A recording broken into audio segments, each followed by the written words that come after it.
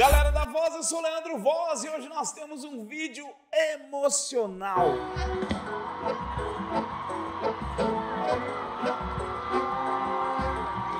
A galera pediu para analisar o Belo cantando no show de 30 anos do Soeto ontem. Vou ler os comentários aqui. O Junior Six diz o seguinte: Belo tá desanimado, mas temos que concordar que as melodias dele não são fáceis. Eu convido absoluto, fico pasmo com a melodia. Muito bom mesmo. Pagode tem uma melodia torta, não é aquele lá menor, Fá, Dó e Sol, pé de galinha do worship.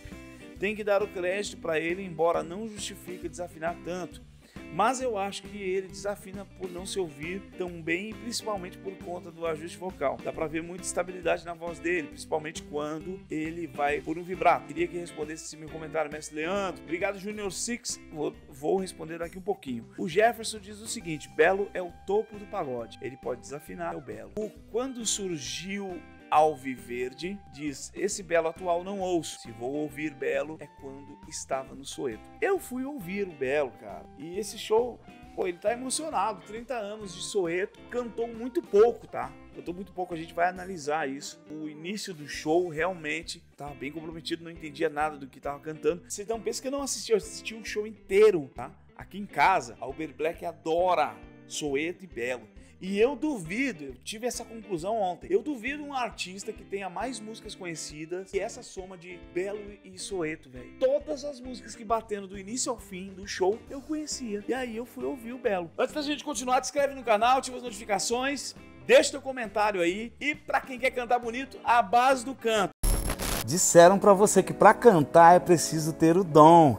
Enganaram você e você se acha incapaz. Já tentou de várias maneiras e não conseguiu aprender a cantar. Eu quero te apresentar o meu curso A Base do Canto. O link está na descrição desse vídeo e você vai cantar bonito. Corre lá!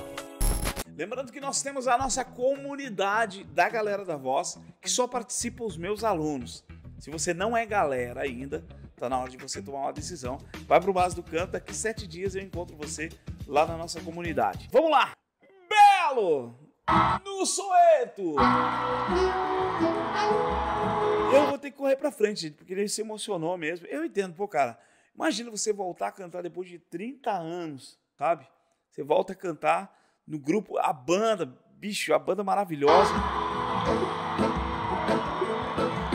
E aí, o que tu vai encontrar ali é com sétima maior, entende? Vai encontrar muita coisa rica no pagode. Para quem quer aprender a tocar e a cantar, não fuja desses instrumentos. Só que hoje é complicado você ouvir a galera do pagode. Voz, tá, gente? Eu tô analisando a voz.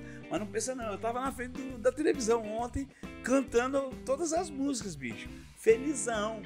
Felizão. Tá tudo certo. Mas na análise vocal, cara, infelizmente a galera realmente tá desafinada é, por uns detalhes, cara, de prestar atenção na melodia, sabe, de ensaiar talvez as músicas. Hoje é uma coisa que está acontecendo na modalidade